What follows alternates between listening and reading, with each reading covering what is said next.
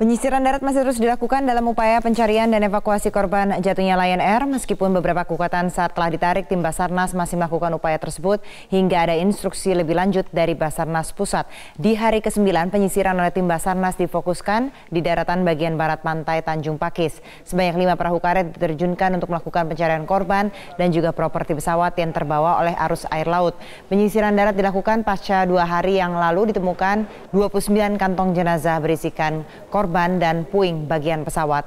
Kondisi bagian barat Tanjung Pakis yang merupakan kawasan hutan mangrove dengan sedimen lumpur yang cukup dalam menjadi salah satu kendala yang dihadapi tim SAR. Selain itu kondisi posko Tanjung Pakis kini mulai sepi. Beberapa kekuatan SAR telah ditarik oleh instansi terkait, namun tim Basarnas akan terus melakukan upaya pencarian hingga ada instruksi selanjutnya dari Basarnas Pusat.